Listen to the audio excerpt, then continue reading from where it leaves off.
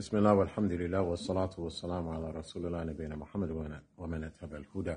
Another piece of advice as it relates to books and libraries is what we find in the books of the Salaf as relates to the treatment of books.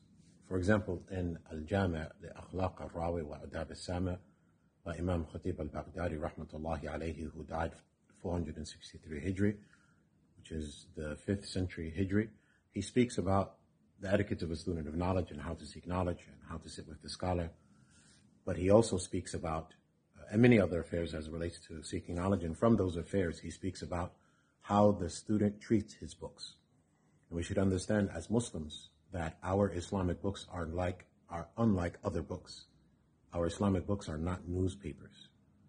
Our Islamic books are not educational books such as English, math, science, computers, technology and the like. Our Islamic books contain the names of Allah.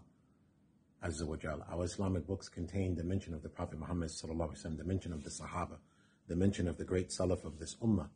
So our Islamic books should be uh, dignified and respected and treated accordingly.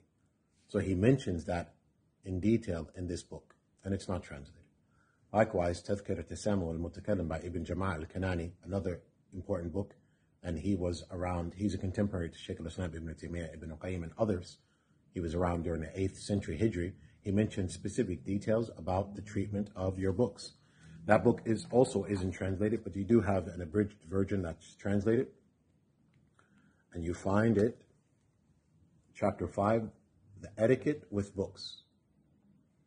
And about the treatment of your books, uh, writing notes in your books, placing your books down, placing your books on the shelves, and the likes. It's a very important subject amongst the, the Salaf.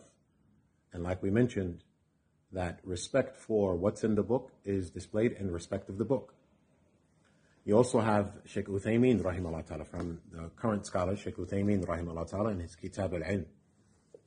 Uh, in his Kitab al-Ilm, which was translated but wasn't completed. So this portion that we're reading now, it's not present in the English translation.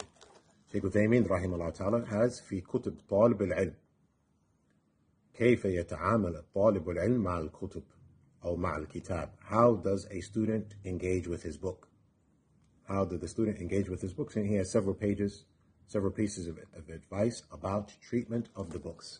So in that regard, you wouldn't find amongst the Salaf nor the scholars or a student of knowledge, you shouldn't find individuals placing plates on top of books, food on top of books, or, for example, mugs on top of books. You wouldn't find that because they are showing utmost and utter respect for, for the knowledge which is present in the books. So this is advice for our brothers and sisters as it relates to respecting their books, not placing plates, mugs, food, clothing, garbage, or anything else on top of your books because those books are Islamic books containing the names of Allah the Prophet, the Prophet Muhammad sallallahu alaihi wasallam, the Sahaba, and those are that's our religion. So have respect and dignity and honor for our religion by respecting the books of the religion. Allah knows best. Sallallahu wa sallam wa baraka ala Muhammad wa ala alihi wa sahbihi wa sallam taslima kathira.